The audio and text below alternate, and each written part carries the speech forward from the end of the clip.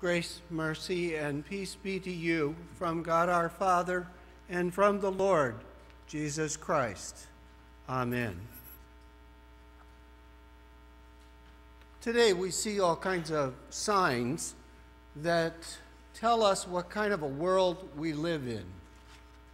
The various slogans that are on cars and on signs in lawns and so forth you can see almost every kind of belief pins, buttons. We have them for all the Reformation Festival, all kinds of pins and things that say to people who you are, what your identity is. From the signs around us, we can see that our society is becoming much more secular. That is, no one thing rules. Everybody goes after their own God, so to speak, small g. If you live in many American religious cities, especially the large cities, you'll see churches being converted into mosques and Buddhist temples or even into homes, as in the case here in Norfolk. Popular signs will read things like this house. In this house, we believe black lives matter. Women's rights are human rights. No human is illegal. Science is real. Love is love. Kindness is everything. That's a sign that I read on the West Coast in a newspaper that I read. The sign is a profession as well as a prophecy. Like the biblical Joshua, we are asked the question As for me and my house, we will serve the Lord. We will serve the King, Jesus. The biblical message today has diminished in the public realm. It's important for us, as we spoke earlier, about projecting forward generation to generation the bright hope of the coming of Christ. He will come again. He will set things to rights. He will set it straight. The world that is not as it should be will may, be made new, a new creation. That is what St. Paul says today in our second lesson. You and I are people of faith, hope, and love. Jesus is and always will be on the throne of your heart. And the deeds that I encourage the children to do are really the deeds that all of us are called to because Christ is King and Shepherd of love. Not any kind of love, as I told them. Because the, lo- the love, love is love, love, we all love love, and so on. That is distorted. And the form of that love is what we proclaim because it is in the form of a cross. The crown upon that cross is really, as we just sang, a crown of thorns. We would rather suffer to be under the Lord's guidance and care than depart to these glitzy signs that are all around us today. The triune God says to us, in a well known old hymn Have you not made me love you, God and King, all your own soul, heart, and strength and mind? I see your cross, there teach my heart to cling. Oh, let me seek you, oh, let me find. That is the kind of excitement to be in the Lord's rule. That is the kingdom, the power, and the glory that every day we say the Lord's Prayer. we yearn for faith, hope, and love. I think of Acts 16 when God rescued Paul and Silas by breaking them out of jail. And when they broke free, the jailer yelled out, What must I do to be saved? And Paul responded, Believe in the Lord Jesus Christ, and you will be saved, you and your household. What happened next? Did the jailer just sit down and say, Whew, I'm going to heaven? No. He understood that faith is a living, daring, active presence of Christ ruling now in his heart. So he said to Paul and Silas, Come to my house right away. He didn't know them, they're, they're in jail. He invites them to come over to his house. There, he dressed their wounds, he fed them. All the things that we talk about in this gospel lesson for today. You know, that jailer was a Roman citizen, and Philippi was a Roman city. And he was one who had to say, There is no king but Caesar. But now he said, I have no king but Jesus. And that was a new life. Who is our king? Today in our culture. Not evident, is it? We see signs all around. Worship attendance dwindles.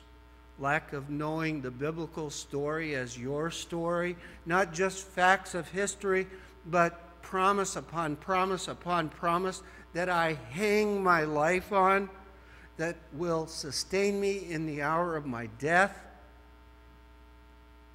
We are a part of a community that is beloved by people very different than we are. Not a matter of economic class, whether I'm upper class or highly educated or poorly educated. We cross those barriers because we live in that kind of community the world doesn't understand. What is faith? What is hope? What is love? St. Paul says that it's all about Jesus being raised from the dead. The victory has taken place. And that victory is foreshadowed all the way through the Old Testament from the promises made to Adam and Eve, to Noah, to Abraham and Sarah, to Isaac, Jacob, Moses, Joshua, David, David, David, especially David. He was the king, but oh, he was a sinner like you and I. A sinner dearly in need of forgiveness, to create a clean heart and a new spirit within him, in him. And he found that grace when the prophet Nathan said, Your sin has been put, put away. The good shepherd had reached the under shepherd. Serving each other is not a matter of being top dog. No, it is a matter of being a sheep. Secondly, Christians, we can find comfort that whatever we do in His name, nothing will be lost.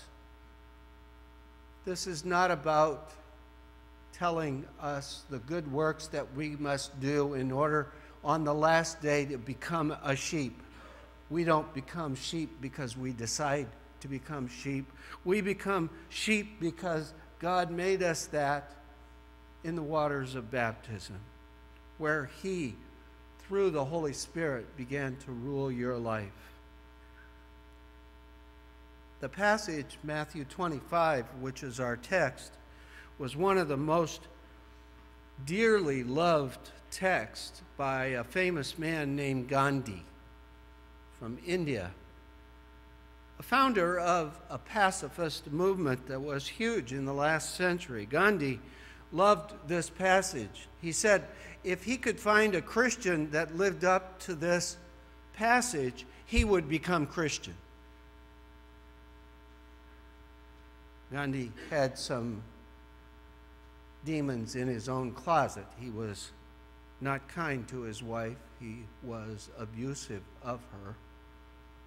And unfortunately, maybe he did not see the kind of kindness that we see here in Mount Olive or in our lives and throughout human history with all the, the struggles of our life about how the church has not been kind to women, that is exactly the wrong thing. It, what has elevated women in the life of the Christian church is the gospel of Jesus Christ. So, the criteria for judgment of separating the sheep and the goats is not for us to decide, not for Gandhi or anyone else. We are declared righteous for the sake of Christ, and we are his people. Immediately following the final judgment scene in Matthew 25, our gospel lesson comes the events of the crucifixion. It's immediate that Jesus sets to go to the Passover. That is how, and the reason why Luther says in the small catechism that Jesus has become my Lord. Not that he is my Lord, but he became my Lord through the cross. The crown of thorns of his suffering is how he rules over my sin and your sin. Our second lesson reminds us that the crucified one, Jesus, loses nothing that belongs to him. He lives and rules, beginning a new creation, all things made new in him. So we are called. We are gathered here like sheep. We are fed. We are enlightened for this dark age. When I'm with young people, I've noticed an increasing apocalyptic darkness. Have you seen this? The movies that young people watch these days X Men, Apocalypse, Apocalypse of this sort or another. This kind of looming, dooming feeling. The other evening, we were with our daughter, and she was watching X Men Apocalypse. And I said, uh, Anna, do you recognize the symbolism in this movie? Statements like, by the grace of God that we were saved. And we need to speak in terms that are hopeful.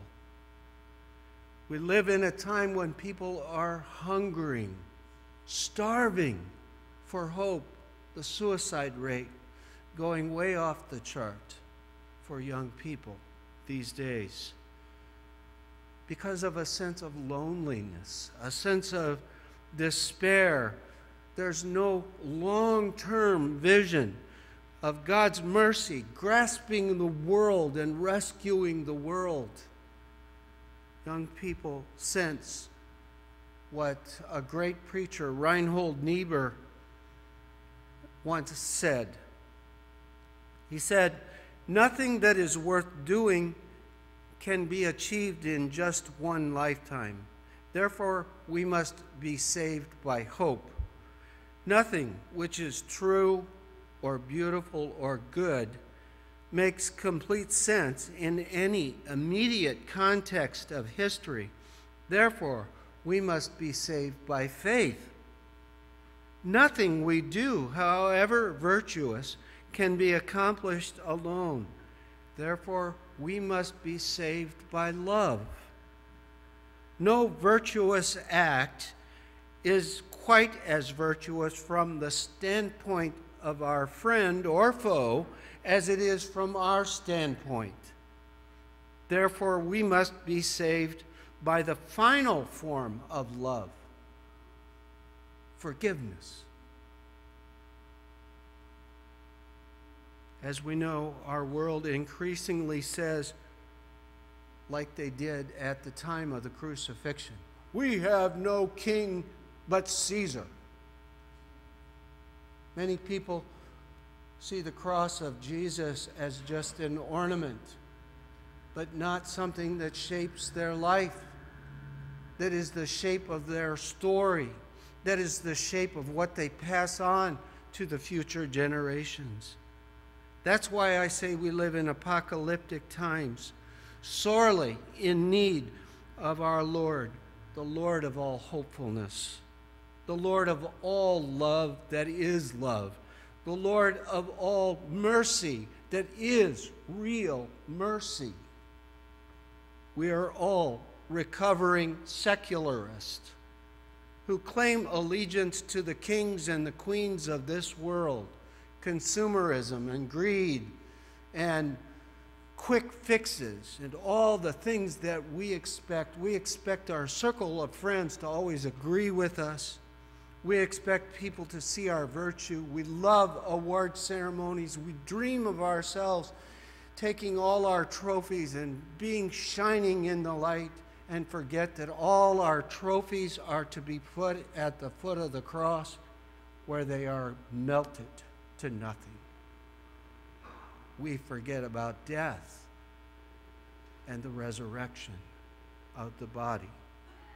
We forget about Christ the King. And we are all in need of the merciful forgiveness that Jesus Christ so freely gives us today. Amen.